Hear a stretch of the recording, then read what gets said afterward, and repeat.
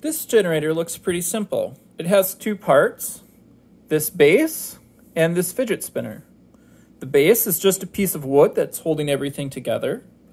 There's a copper coil that's made up of many, many turns of this really, really fine wire.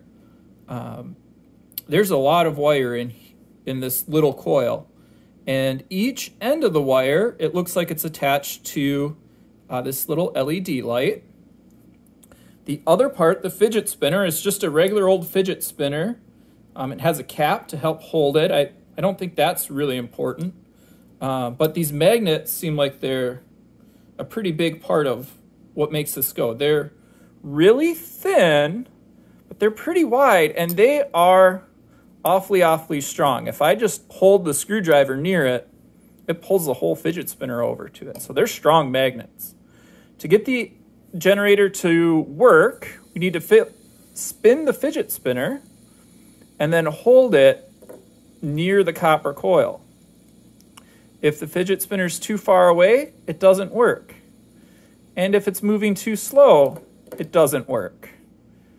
You see, it has to be going pretty fast and be very near the coil to light up the LED.